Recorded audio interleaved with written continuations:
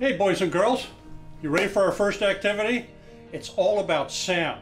Now, if you've ever been around trains, you know there's lots of different sounds. There's the clickety clack on the tracks, there's the steam engine, there's the, the, steam whistle, there's the conductor who's yelling all aboard, all kinds of different sounds. Well, we're going to find out something about sounds, and it's a really cool activity that you can do at home.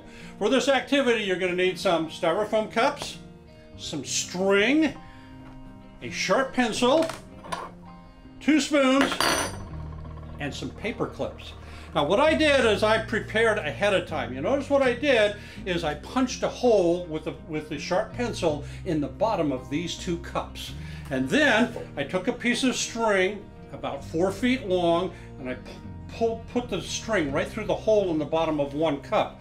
And on the end of the string is I tied a paper clip so that when I pull the string this way, it doesn't come out the bottom of the cup. I did the same thing with this cup right here. I put the string through the hole, tied a paper clip to it, and now it doesn't pull out.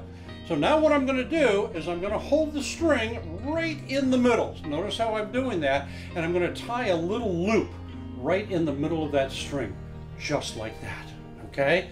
Now what I'm going to do, I'm to take one of my spoons, I'm to slip the handle of the spoon right in that loop.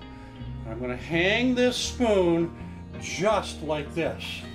Okay? See how it's hanging down from the two cups. Now I'm going to invite my friend Ashley to come over here and she's going to demonstrate something. Watch what happens. This is really cool. Ashley, could you come over here? I'm going to ask you to take each of those two cups and put them over your ears, if you would please.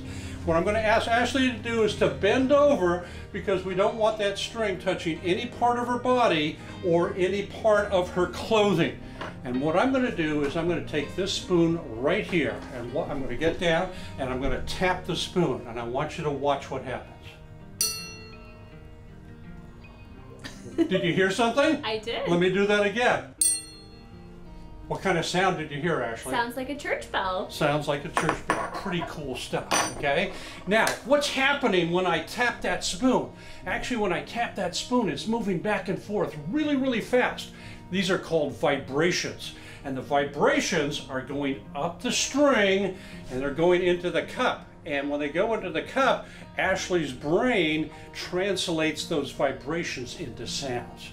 Now, you can do all kinds of different things with that. I'm going to ask, ask Ashley to hold that. This time I'm going to take the string of the spoon out and I'm going to hang a wire coat hanger here. I'm going to ask Ashley to bend over and I'm going to tap that. Did that sound the same or different from the spoon? Different. Wow. I wonder what other kinds of things you could hang down from here. Maybe maybe a pot from from the kitchen. Um, maybe something some piece of metal from the garage. Try that out and create those vibrations and they go up the string, they come in your ears and they make sound. When you hear all of those sounds on the railroad, those are all vibrations that your brain is turning into sound. That's the end of our first activity. Wait till you see what we have for the second one. Thanks, boys and girls.